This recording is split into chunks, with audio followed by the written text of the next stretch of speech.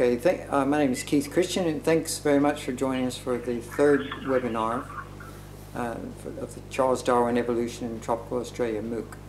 This week we're going to be looking at Wallacea and biogeography. As I said, um, my name is Keith Christian, and uh, this week I'd like to introduce Dr. Steve Reynolds, who I'm sure all of you have already seen on the MOOC, but uh, he's with us here for this webinar. So thanks, thanks Steve, and welcome. Uh, yes, good morning everybody, or whatever time it is, uh, wherever you are. Um, I'm um, glad to be glad to be back here for webinar three um, to talk about Wallace and, and biogeography.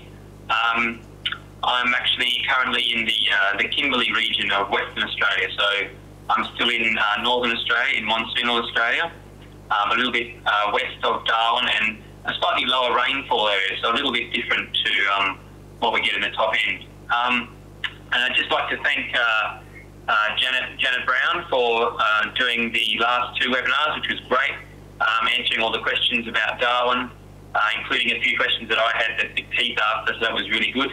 Um, so, but this week, uh, part three, uh, we move on to uh, the Malay Archipelago and and Wallace and the life of Wallace. So, um, once again, in this webinar, we will um, look at some points of interest, in particular, uh, some animal distributions in relation to Wallace's line.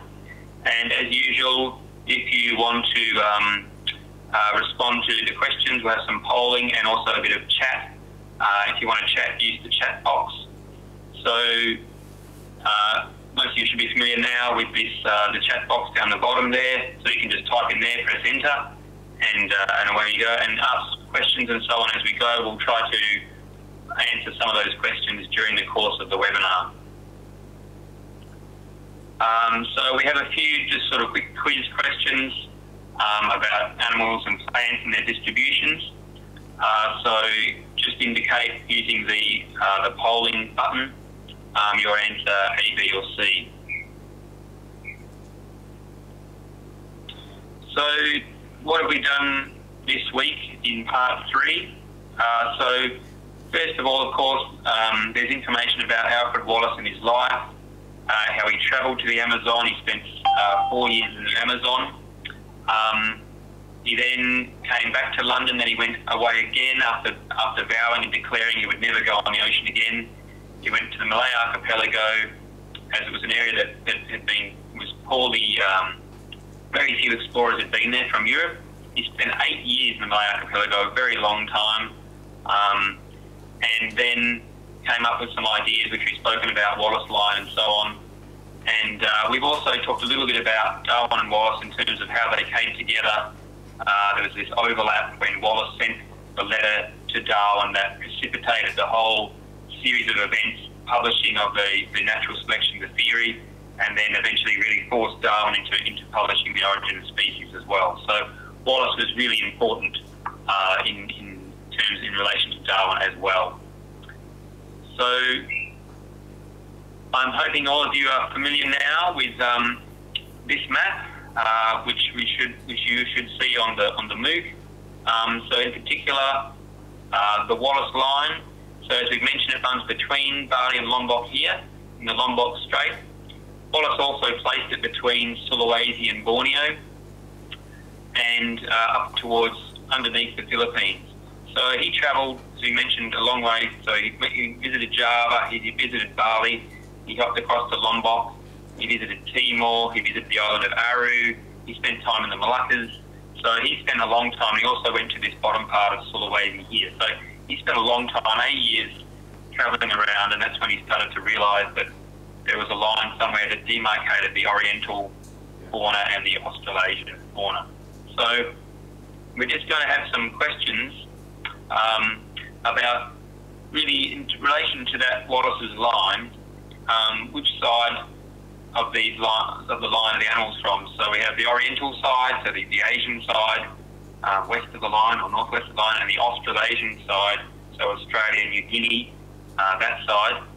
Um, or are they a bit of both? Are they moving uh, or are they distributed on, on either side of the line? So the first example um, we've thought about is the, the salamanders. So um, there's actually quite a diverse range of salamanders. So these are amphibians, uh, but they're amphibians with tails. So there's three major groups of amphibians. There's the, the anura, which is the frogs and the toads. There's the um, the salamanders, which have which actually have a tail, and then there's these odd uh, burrowing forms of caecilians in tropical places around the world. And so, uh, the question is about salamanders. Which which side of the line uh, would you say that they are from? So, um, we go to the next slide. So, really, um, I guess so. For me, being from Australia, um, the first time that I actually saw a salamander was when I visited North America, when I visited the United States. So, uh, in Australia, you know, we don't have salamanders at all.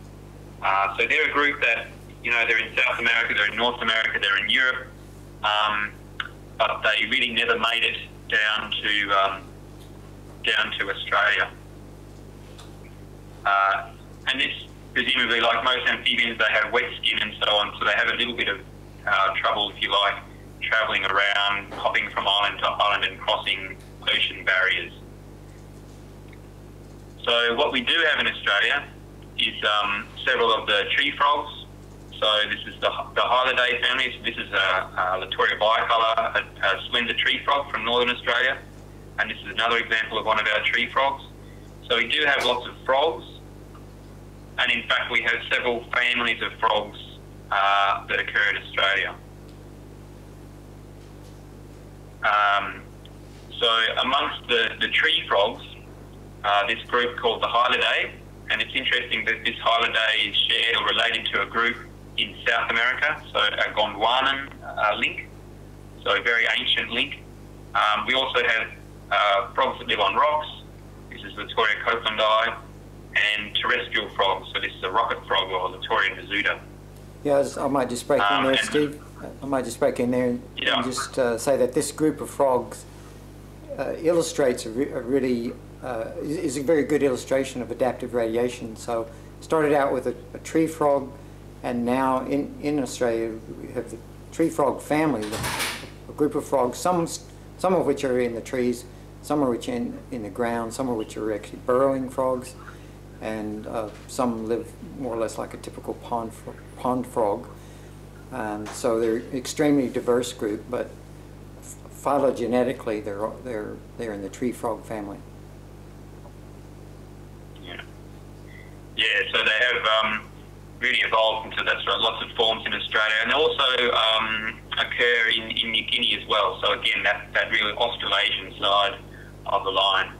Um, we have several other families. So this is an example of the Myobatrachidae, which is small ground frogs, and this the Limnodynastidae, which is sort of larger ground frogs. Several several genera, and both these families are largely restricted to uh, Australia, but again related to a family, the Leptodactylidae, uh, which is from South America, and for a long time were considered as part of that same family. It's only recently that they've been really, and it's been accepted that they are different families, uh, different families of frogs from the ones in South America. So obviously, again, a very ancient lineage dating from Gondwana. So the next example uh, we looked at is woodpeckers, and I think most people are familiar with these birds. Um, they, you know, they do they go up and down tree trunks and they dig holes and they grab insects from from the holes that they dig. Um, and again, so the question is about whether which side of the line these uh, woodpeckers are from, uh, the Oriental side or, or the Australasian side, or kind of maybe a bit of both. Um, and so if we think about that, um, really, again, um, the Oriental side is um, they've come down. So again, they're in the northern hemisphere. There's a lot of woodpeckers, but they also in South America. Um, but in Asia, they're very common. Say, for example, in India and in places there's a lot of species there. Some of them have made their way down through the Malay archipelago and I think there are something like five or six species on Bali, for example. But as you go through down into Nusa Tenggara, so east of Bali, there's only really one species of woodpecker. And in New Guinea, there are no woodpeckers, and in Australia, no woodpeckers at all. So a few got across the line, uh, and then none actually made it to Australia. So um, you would say mostly Oriental, um, and basically some in Indonesia. But yeah, so it's a group that hasn't actually managed to get to Australia. Maybe in, maybe in the distant future. But what's interesting is Australia does have other similar things. Um, like tree creepers and sittellas that crawl up and down trunks and pick pick uh, insects on. Well, they, they look under bark, but they don't actually dig holes that woodpeckers do. So nothing's evolved this ability to actually dig, dig holes in tree trunks. So um, this is uh, just a general comment then in relation to, this is a quote from Wallace from the Malay Archipelago hopefully all of you are now reading the Malay Archipelago in your spare time. Um, and it's interesting in terms of this is how Wallace summarised things at the time. And he points out that um, Australia doesn't have all of these groups. So these are all, um, in this first paragraph here, these are all uh, placental mammals. So tigers, wolves, bears, all those sorts of things, elephants, all these things we think of as being, you know, uh, mammals uh, characteristically. Um, but I think what's interesting is that some of these animals actually do now occur in Australia. So, for example, we do have sheep because we have lots of sheep farms and stations. We do have horses, and some of those are running wild as well. And of course, the rabbit, which um, you know has been feral for a long time and has, has uh, expanded across most of uh, southern Australia, and at times has been in you know, absolutely enormous numbers. Um, the other point he mentions here is that it has marsupials only.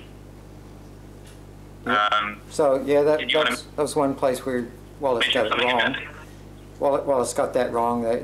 It's mostly marsupials, but uh, in fact there are bats in Australia and there are rodents in Australia, and there are about uh, 60 species of rodents in Australia, and all but and most of those are have, have been here for a very long time, so they're na native animals. About four or five species that have been relatively recently introduced as humans uh, have, have, brought them from other parts of the world, but uh, about 55 species of, of native rodents. And of course, rodents are, are typically, uh, particularly the mice and rats, and all, and all the uh, Australian rodents are in the family Muridae, which is the, the, the rats and mice.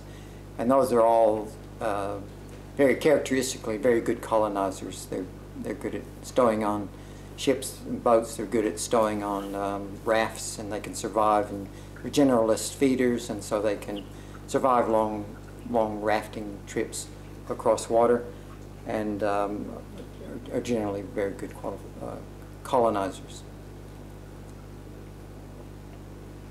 Yeah, so that's right. And so the, the, they seem to, it seems as though the rodents have been in Australia probably for um, five million years or something, uh, relatively recent, and then they've, but in that time they've evolved into several different genera, and as, as Keith mentioned, 50 or more, more species of native Australian rodents, so they're actually quite common.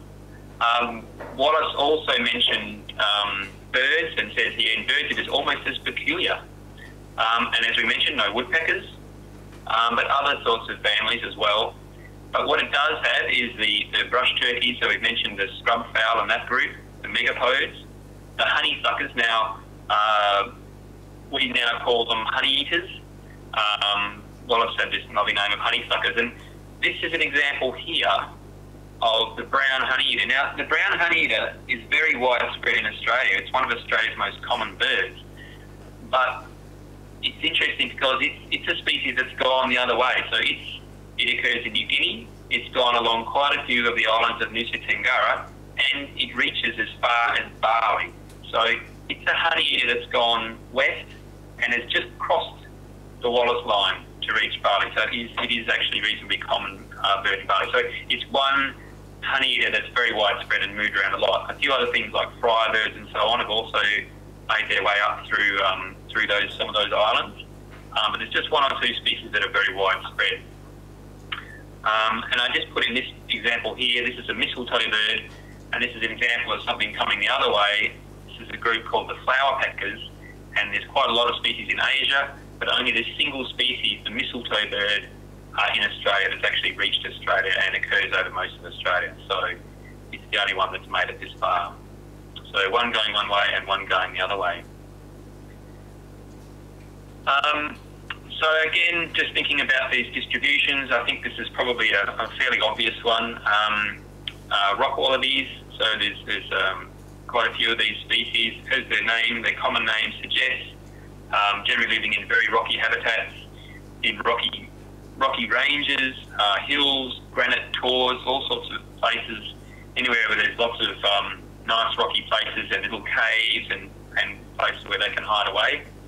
Um, so again, the question about whether which side of the line they're on, um, and as for most of the macropods, so doing this that large group, the Macropodidae, uh, which includes the kangaroo, kangaroos, sorry, the wallabies, the pademelons, the rock wallabies, all those sorts of things. Um, so as you would imagine, uh, this this example here is the short-eared rock wallaby. There he is sitting on the rock, and actually they just sort of disappear into those rocks. They're very hard to see. Um, and this is one in Litchfield National Park, which is just south of Darwin. And so this short-eared rock wallaby is actually quite common across northern Australia, wherever there's rocky habitat, and especially where there's where there's near water. Um, and so there are now 16 species of rock wallaby recognised in Australia, and these include, for example, some species in deserts, and you can see this distribution here. Uh, these are basically areas that are suitable in terms of big rocks or ranges or so on in, in the middle of the desert. So there's some desert species. There's other species in northern Australia, and there's also a group of species that now occur down the eastern seaboard. So again, some genetic studies have increased the number of recognised species once again. It seems to be a common theme uh, these days. Uh, okay, so another example. Um, now this is a cuscus. So some people might have heard of uh, of a, a cuscus. Um, it's a little bit of an unusual animal. It, as you can see, it has a, a slightly uh, prehensile tail. I think the tail is used to curl around branches. It can't hang off it like some monkeys can, for example um, but it certainly does use this prehensile tail in the climbing. And this is an unusual uh, looking looking fellow. Um, so, do people think about um, whether this this species uh, is Oriental or Australasian or both? Um, so, let's see. So if we look here, I think this, this uh, the name of the, the cuscus might give it away. Um, so this is the Sulawesi bear cuscus. So people remember um, where Sulawesi is. So just on the just on the eastern side of the sign. So um, if we go back to, I'll just try and go back to this here. So there's Sulawesi, uh, just on the side. So it's, it is on the Australasian side, but only just, if you like. And there's a few unusual animals like this that occur on Sulawesi. There's a lot of endemic species, and this is in fact a marsupial and related to other climbing uh, marsupials like the possums, and there are other cuscus species as well in New Guinea, and particularly in tropical parts, so like tropical North Queensland. But the Sulawesi bear cuscus is a um, appears to have been there for a long time. And Wallace actually had a bit of difficulty with Sulawesi. He wasn't always sure where to put it, whether he should put it on one side of the line or the other side of the line, um, because it's a bit of a mix of species, Oriental and Australasian, plus it's a lot of its own endemic species that I mentioned. Um, and as it turns out, uh, geologically speaking, and so there's been a lot of um, work on, on the geology of the region since Wallace, particularly in the last 40 or 50 years. And what it suggests that was that Sulawesi itself is composed of different parts. So if we look at 30 million years ago, so quite some time ago, this is thought to be the configuration of the land at the time. And so you can see Australia down here, there's northern Australia and the top of Queensland and, and what was New Guinea, or prior to actual Proto-New Guinea. And here we can see Borneo and Java. And so at various times this was all joined up. And what happened over time is that parts of the Australasian plate joined, and so Sulawesi itself is composed of two two parts that join together and form one landmass. And so probably what happened with the Sulawesi bear cuscus, it arrived sometime around, you know, maybe this sort of time, 20 million years ago, but then later these islands here became separated, it was separated by an oceanic barrier, and it was stuck there on Sulawesi for a long time and evolved and changed and became quite different from other cuscus species that we know. So it's quite distinctive, it's quite unusual. And there are other unusual animals uh, on Sulawesi. Um, and just so if we look at the marsupials generally, as I mentioned, this is the number of genera. Um, so there's a single one on Sulawesi. Um, some have reached some of these islands close to New Guinea, Buru and Seram. Uh, four genera on this island, Misool, near New Guinea, and one genera which has almost got up to the Philippines. So the marsupials did spread a fair way, but still didn't quite cross the line, which is which is over here. So, and of course in New Guinea there's actually quite a diverse array of marsupials, including several genera that occur in New Guinea and not in Australia. So. Okay. Um, and if we think about the marsupials generally, um, we've mentioned how they occur in Australia. This is now looking at a world map. They also occur in South America, and a single species has moved up into the southern parts of North America. Um, but of course, they are um, they are all marsupials, so this is an Australian example of, of a possum, um, and this is a uh, South American example of, an, of like what they call an opossum. So they are in different families.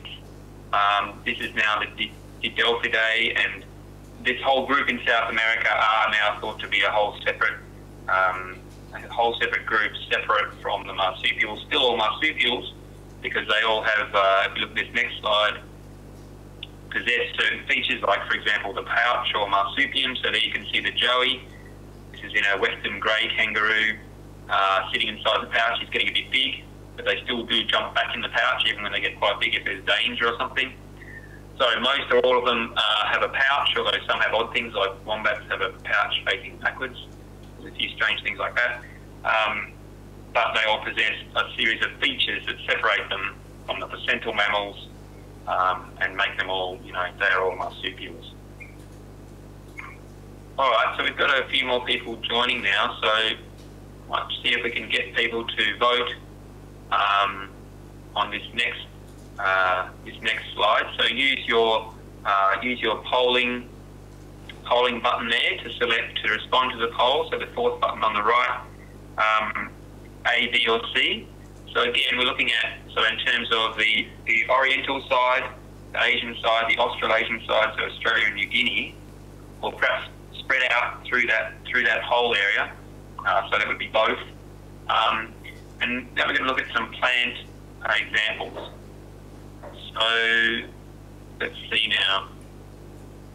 So this is a forest.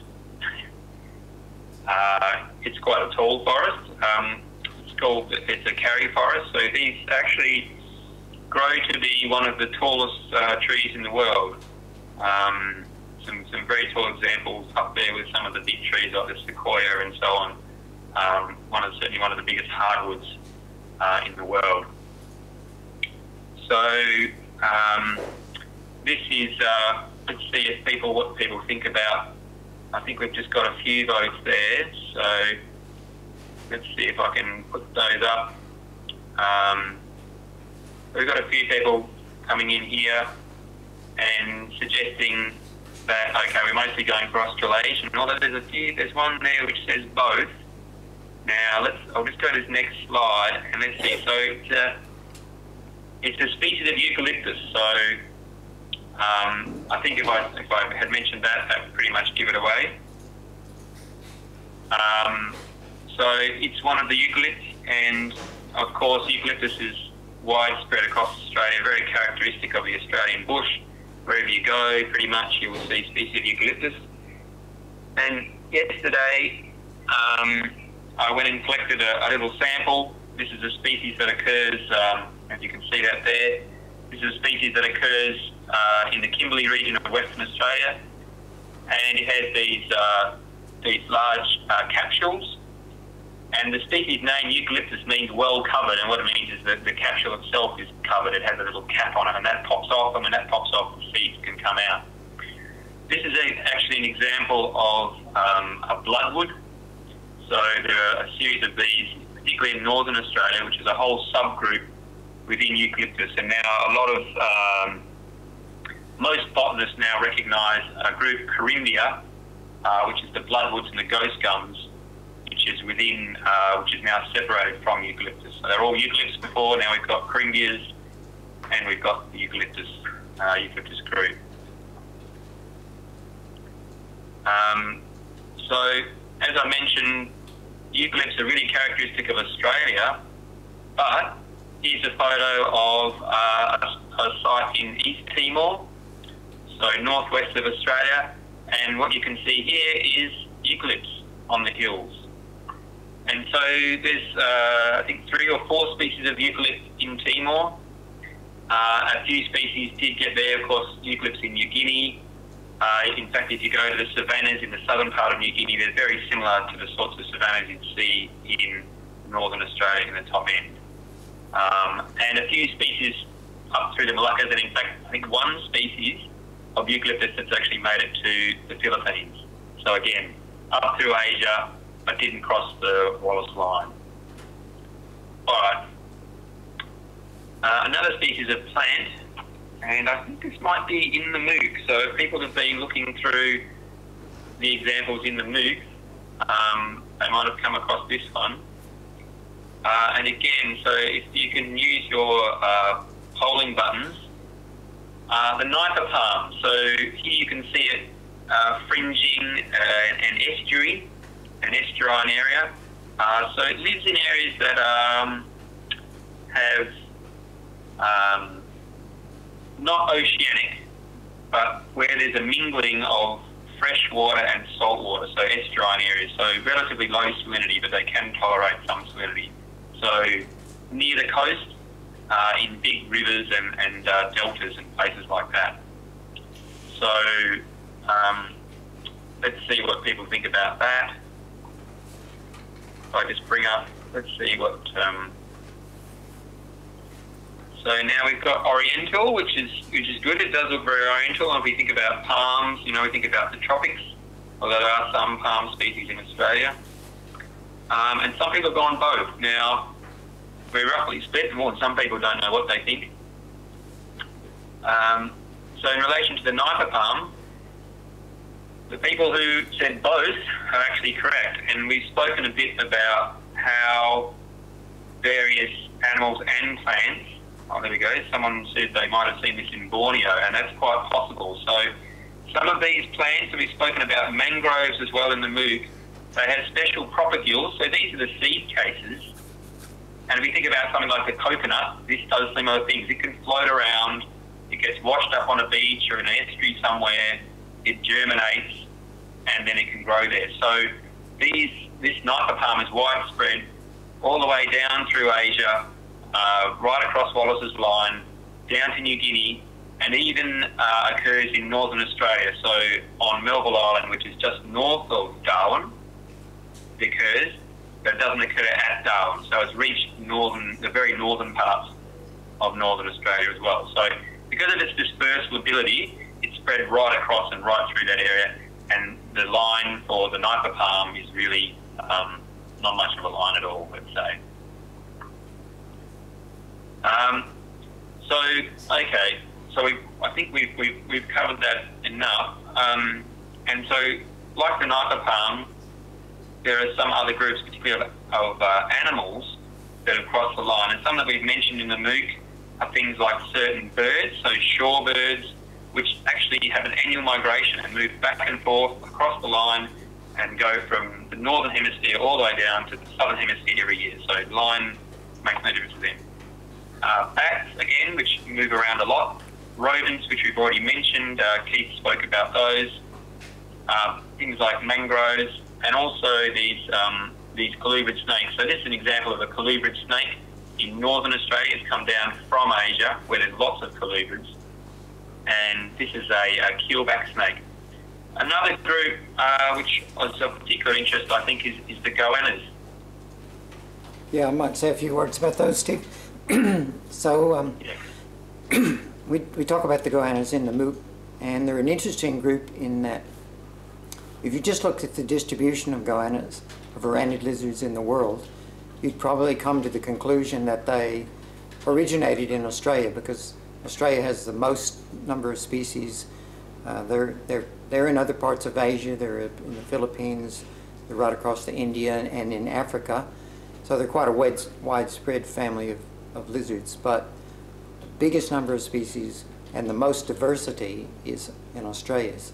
But in fact, if you look at the fossil record, it's very clear that there were um, varanids in, Aust in um, Eurasia for a much longer period. So they originated in Eurasia, made their way down uh, to Australia, and then once they got to Australia, really diversified. I mean, there's not only uh, more species, but um, most of the species in, in, in Asia and Africa are, look like uh, this, this larger species here, generally big-bodied lizards.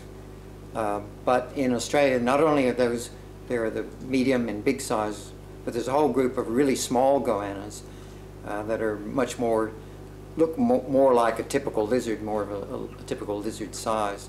And so that's a whole separate um, subgenus of, uh, of, of varanid lizards. So, uh, uh, and, and another interesting fact is that they've come to Australia in a couple of different waves, so in a couple of different invasions. The, first invasion was a very long time ago, um, and that's where most of the diversity came. But there's been more recent invasions, so, such as the, the uh, mangrove monitor, which is also a, a, a, species, or at least very closely related species, were found right through uh, big areas of Southeast Asia and even in the Pacific in places like Guam and, and other uh, Pacific islands. Uh, they, they live close to the sea and they're very, you know, reptiles in general are pretty good colonizers in the sense that if they get swept out to sea on a raft or a log, they can survive a long time without eating.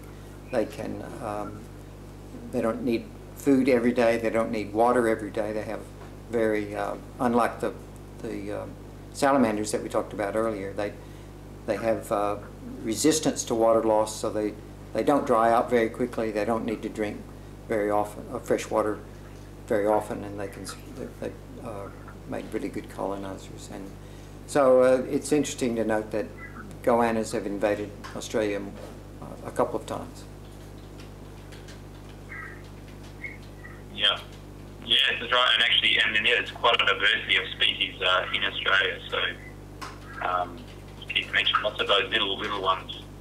Um, so yeah, so a few, quite a few species that have managed to get, get across, and I guess the there's sort of a the idea, I suppose, that people think perhaps more about these days, and I think we're probably getting that idea across, is this idea of what's called a double filter, in terms of what you really have is you have oriental fauna that's pushed down through the Malay Archipelago, through Java and across Nusa Tenggara. And then you've had Australian species that are in this whole region of Australia and New Guinea and have pushed back up towards the oriental fauna. So rather than having a line which is a really strict sort of demarcation boundary type of thing, you've really got a merging of two faunas, one moving up from Australia and one moving down from, from the Orient. So um, I think in a way this this might be perhaps a better way of, of thinking about it. And in addition to that, you have particularly in these areas here, in these little islands, and but also on Sulawesi, as we've mentioned, uh, speciation on those islands so that you also have, in addition, so these animals have arrived there and then speciated, and then so you've got additional species that might be restricted to just one or a few of these islands type of thing. So, uh, that's on top of this, this dispersal and movement uh, of animals around through the archipelago. Um, so, sort of related to that, I just wanted to mention uh, this about that there's um, several families of geckos that occur in Australia. And again, thinking about this idea of dispersal, um, we have, or you know, and how, how animals got to where they are. If we go down here, first of all, this is an example of the Diplodactylidae. So there are now thought to be several what are called families of geckos in Australia. Um, and this is a group, this is an example of a, a Strophurus, uh, it's a spiny tail uh, gecko. Uh, these are uh, generally, this one's arboreal, as you can see. This whole group, Diplodactylidae, uh, which consists of several genera, is restricted to Australia, but there are also representatives in New Zealand and um, and New Guinea, and also New Caledonia, so out in the ocean a bit. And so the link there is that these are Gondwanan. These are species that evolved in Gondwanan times um, when New Zealand and Australia presumably were linked still, and then New Zealand went off rafted across into the ocean. Australia drifted north. Um, so there are still representatives that are sort of related, but and so, for example, some of the ones in New Zealand actually live bearers, which is very unusual for geckos. Most geckos lay eggs. The other group in Australia is the Carpodactylidae. And these things like this um, knob-tailed gecko, unusual funny-looking things look like muppets. Um, the barking geckos, the leaf-tailed geckos, are really just restricted to Australia. Um, so they're Australian endemics, and again, presumably then a Gondwanan group. Um, the Gekkonidae, on the other hand, are very widespread um, throughout the world. And this is an example. This is a Gehyra. This is on, living on rocks. There are ones that are living in trees. Uh, there are several genera, and including also some relatively recent arrivals. So things that are probably still arriving uh, now. Um, and this is a very large family of geckos. And um, so, yeah, they're, they're, they're quite a widespread group. So they're ones that are shared with other parts of the world. Yeah. I might just uh, pop in there, Steve, and say, uh, talk a little bit about reptile eggs. Most reptiles lay eggs. Um, the eggs of crocodiles are hard-shelled. They're, they're, very much like a bird egg. The eggs of, of uh, turtles are also almost as hard. They're very quite rigid-shelled eggs. Most lizards and snakes have a, a very, uh, what's called a parchment-shelled egg, and it's uh, more like a leathery kind of egg. And it's those eggs are much more susceptible to desiccation and they, they have to be laid in particular, particular environments where there's enough moisture for the eggs to not only not lose too much water, but the advantage of having that kind of an egg is that they typically take up water from the soil, suck up water from the soil, and that means that the embryos can, can get quite a bit bigger uh, and use the water from the environment as opposed to water from the, the mother. Geckos are, are unusual among, among the lizards in that some geckos have the parchment-shelled eggs and some geckos have hard-shelled eggs. And these, uh, the widespread Gekkonidae that you mentioned are all over the world, or lots of different places in the world, are the group that have the hard-shelled eggs. And that's probably helped them quite a bit in their colonizing ability. In other words, once they get to a place, um, they don't have to be quite as particular uh, about finding a very specific place to lay their eggs. These eggs, these lizards lay their eggs in all sorts of places, uh, even not even necessarily buried, but under rocks or just in pretty exposed places, and they are able to survive.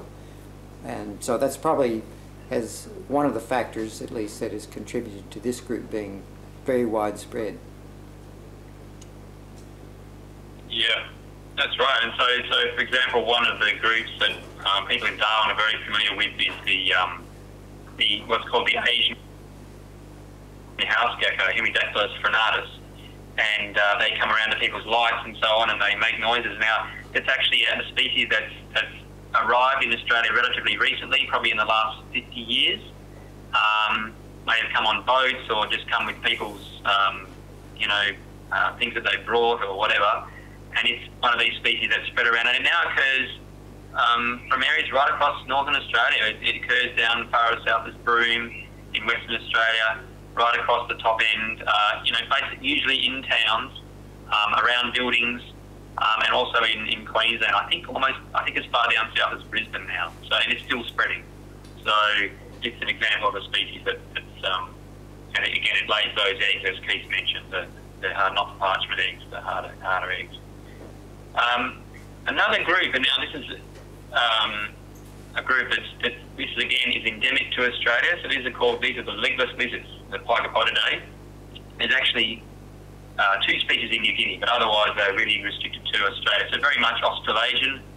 Um, and I just this is an interesting group because if you look here, um, this is a, a, Burton's legless lizard, uh, and this is the same animal here. And for a long time, taxonomists felt that the legless lizards were, were closely related to the geckos. They do similar things. They lay two eggs. The geckos usually lay two eggs. They have this strange behaviour where they have this big tongue that they use to, to lick their eyeballs because they don't have eyelids. They just have to lick the spectacle. And geckos do the same thing. Some of them have a voice. A lot of geckos have a voice. They make a little chirping noise. Um, and so they were thought to be related. And then now again, as we've mentioned, genetic studies keep turning up these things, um, suggesting relationships, and they now are very definitely considered to be very closely related to geckos. In fact, some people consider that they are within that gecko group, and really all they are is geckos that have lost their limbs and become elongated, and that now that now move around by sort of slithering rather than walking around. So even though morphologically they're very different, uh, they're actually very closely related to geckos. So a little bit of an unusual group there. Um, and as I mentioned, about 30 species in Australia, so several genera and about 30 species. So. All right. So um, just touch briefly on um, the forums. Um, just encourage people to get in there and have a bit of a have some discussions. There's a few questions there.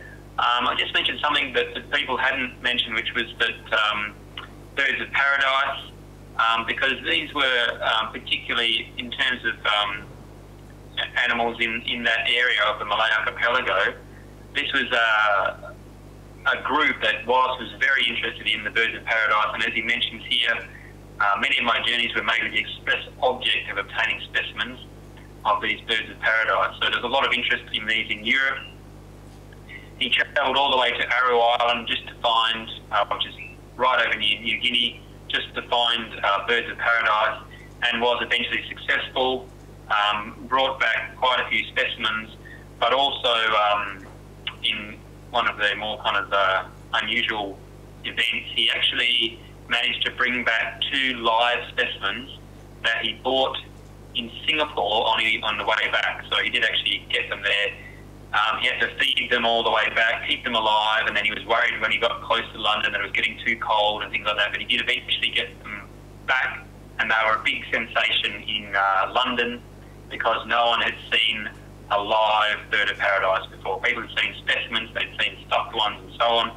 No one had seen a live bird, bird of paradise, so he managed to get them all the way back to, to England for the first time. Um, as I mentioned, I hope people are reading the Malay Archipelago I'd put that in there. It's really interesting if you do travel to Indonesia, if you ever get the chance, take that, take your copy of Malay Archipelago with you. Um, and another thing that I thought I'd mention that um, in relation to this uh, dispersal and so on, um, I guess another thing we need to think about and that Wallace often talked about was uh, sea levels. So uh, sea levels change over time one thing that Wallace often mentioned was this idea of the 100 fathom line, which is about 200 metres or so on depth, uh, so under the ocean. And he noticed that um, he talked a lot about how there's a lot of shallow seas, particularly around places like New Guinea. So here he says that the Aru Islands, and these are some of these other islands New Guinea, are very similar in their mammals and birds. And he suggests that they are all united to New Guinea by a shallow sea. And so if we actually look nowadays, it's interesting that the Wallace actually could, could figure out these things back in the day. Um, if we look at this, this shows the seabed, and as you can see, this whole area from Aru here all the way across northern Australia, all the way down to the Kimberley, is within that 100 fathom line. So last time the sea levels were much lower today in the last glacial period, so maybe only 20,000 years ago, um, when the sea was a long way out and this island of Aru was actually joined to the New Guinea mainland, so animals and plants presumably could move across. And likewise in Australia, part of northern Australia was joined to New Guinea.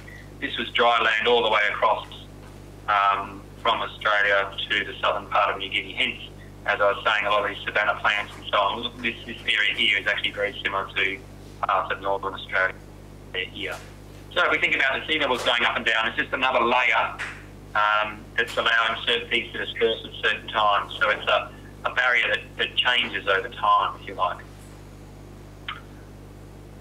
All right, so now just a quick quiz. Um, keep you on your toes. Uh, so we've spoken a bit about the life of Darwin, um, how he published The Origin, um, how he spent his time travelling around, and then Wallace doing similar things in terms of travelling to the Malay Archipelago, um, spending a lot of time there. Um, but we do know that Wallace was Darwin's junior. Darwin was fairly well established already by the time that Wallace sent that letter from the um, Malay Archipelago. Um, and Wallace, in a way, was still establishing his credentials. And actually, the publication of that letter and that, that um, you know, the theory of the natural selection and so on really did um, make Wallace a well-known person so that when he did finally come back to um, to London, which was actually several years after uh, that, that, that dual publication, he was actually quite a well-known figure in scientific circles in London. Um, so we've got a few we've got a few votes here. Let's see how we done. Right, so some people have said 10 years, or but have said 14. Let's see. And okay, there we go. So 14 years. So most of you got it right. Um, so yeah, Darwin was born in 1809 and Wallace in 18, 1823. So really, um, you know, Darwin, Wallace was still at school while Darwin was already off travelling around and, and doing his thing. So he had a bit of a head start. Um, and, and, but eventually, as I mentioned, they um, they came together there. All right. Um, one other thing that I would um, I've mentioned in the forums is just about this idea that people have travelled in the tropics. So Darwin and Wallace both did that, which was I think really important.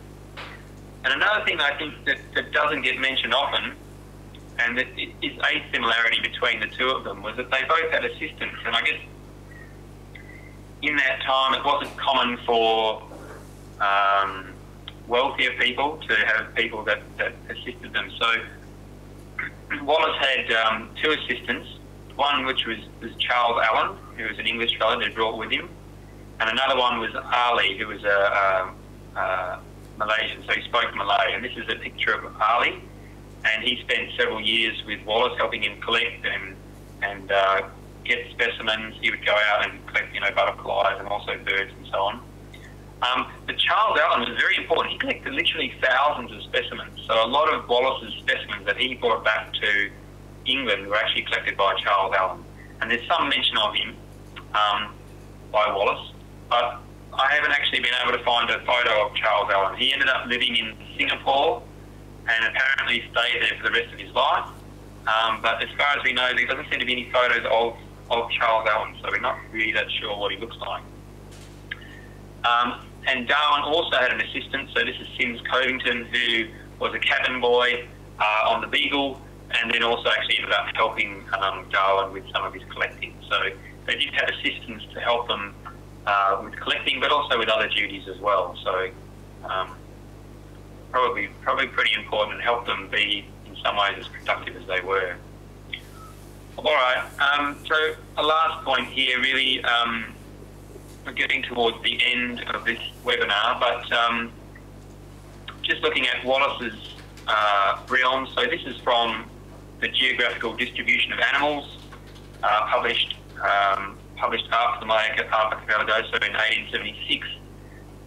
And in this book, uh, Wallace collected all the information he could about the distributions of animals, and um, it's, it's quite a long book. Uh, again, you can download it from Wallace online, as you can do with the Malay Archipelago and any of other Wallace's publications.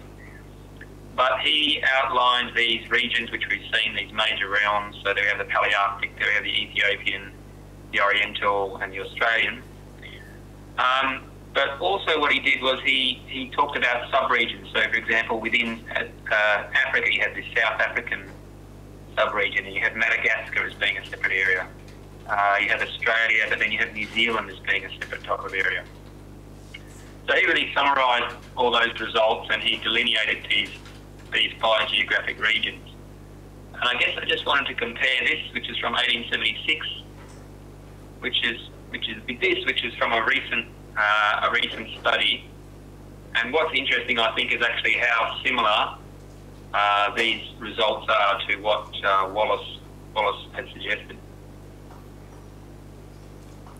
Yeah, so Um, can, I guess this the, the newer study used all sorts of new genetic techniques and other kinds of, apart from the fact that there have been, you know, uh, an extra hundred years worth of collections and study.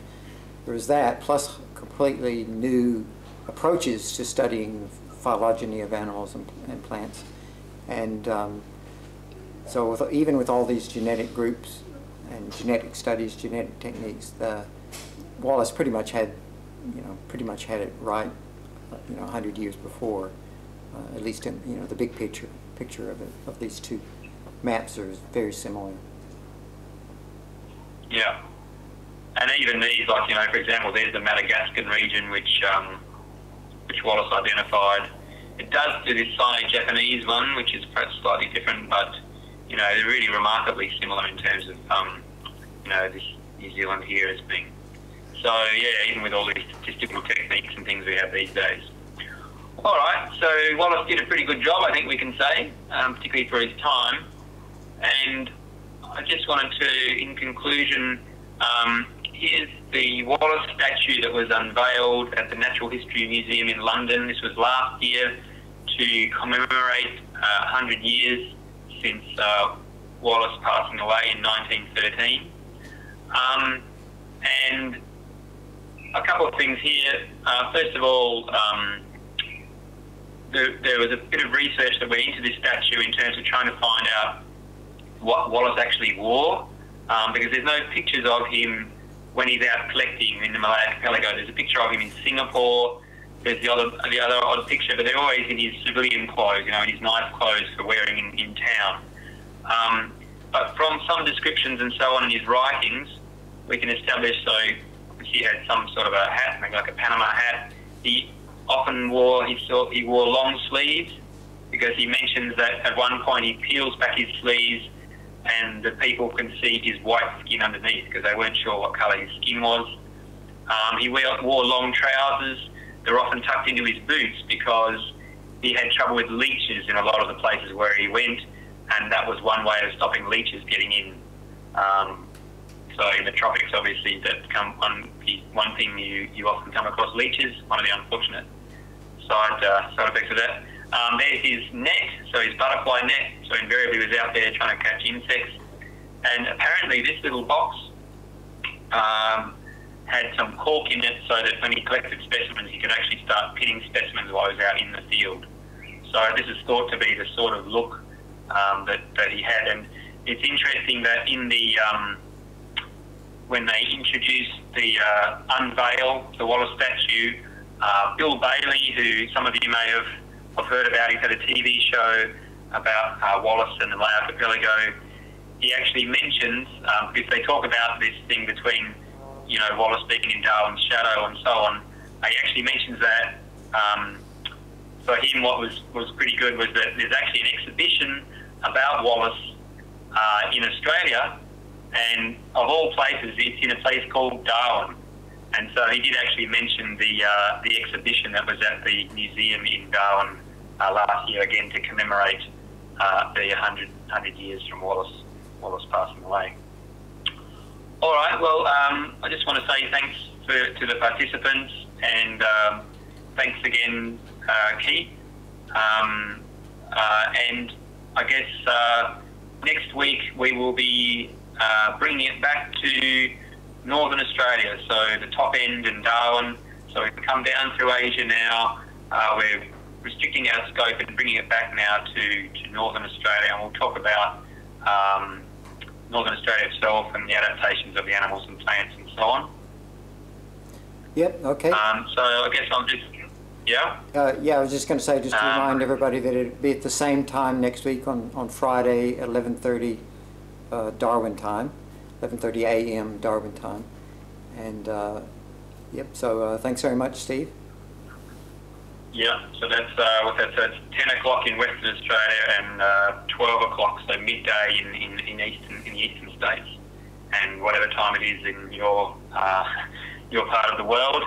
Um, so yeah, thanks everybody, and I'll just leave you with uh, a, a slide with a little bit of uh, text here, but um, I'll leave it up here for a minute or two uh, for people to read.